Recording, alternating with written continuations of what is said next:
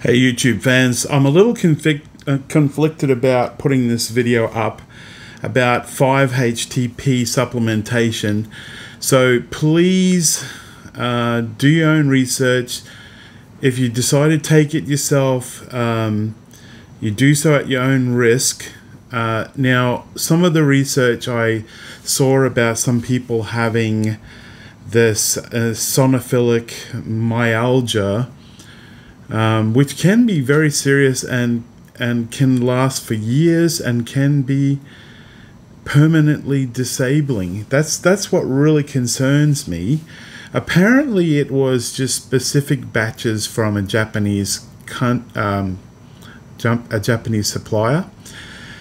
Um, so I'm really, really conflicted about posting this. Uh, so please take this next video with that warning and recommendation. Um, and I'm going to think about whether I will try it myself or not. I mean, some of the things that I take, there's all sorts of warning as well. So you have to balance between the risk, cost, risk, benefit. So um, if if this works for fibromyalgia and it, and it uh, improves the quality of your life and it's safe, then that's something to be considered. So I really need to think more about it, and I and I encourage you to think more about it. So that's my disclaimer. I'm going to put the rest of this video on. So video on. So keep watching now. Okay.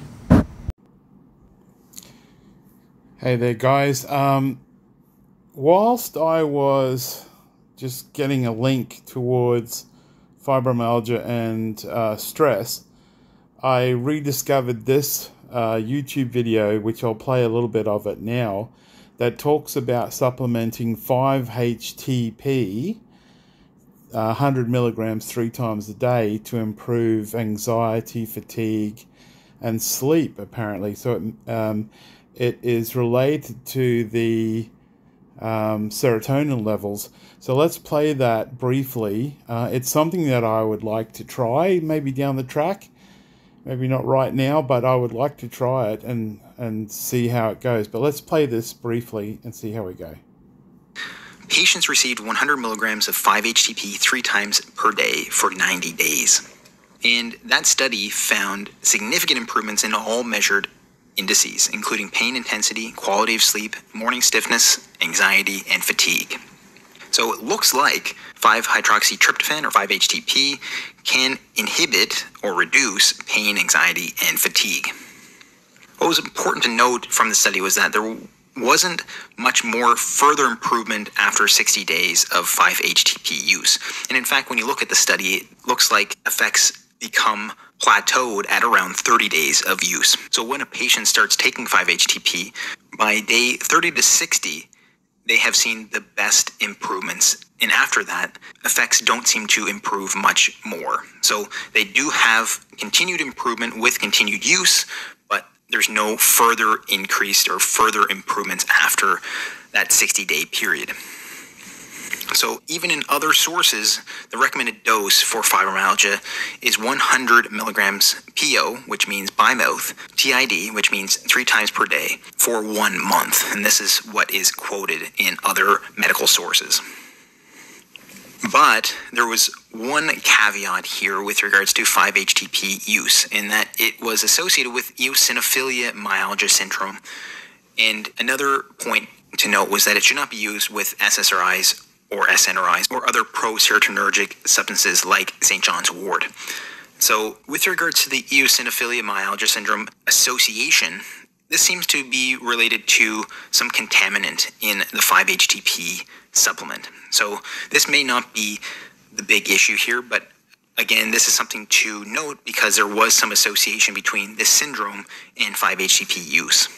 Now, having said all that, how might serotonin modulate all of those fibromyalgia symptoms we talked about before. All right. Well, I won't um, go into that further, but you saw there was a couple of caveats there. So, like, speak to your doctor if you try that for yourself. Um, and there is a possibility of that contamination.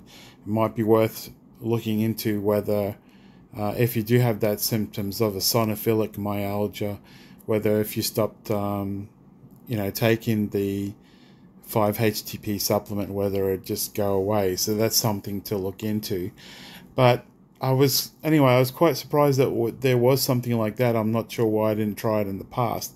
I mean, I've tried other things like low dose naltrexone, which works quite well for me. But anyway, I thought I'd share that with you guys, um, and I'll have a think if I'm going to take it myself. But um, yeah, I, I mean, when when it comes to fibro, if we can improve the quality of our lives, it's always uh, a good thing as long as we don't harm our health in the meantime.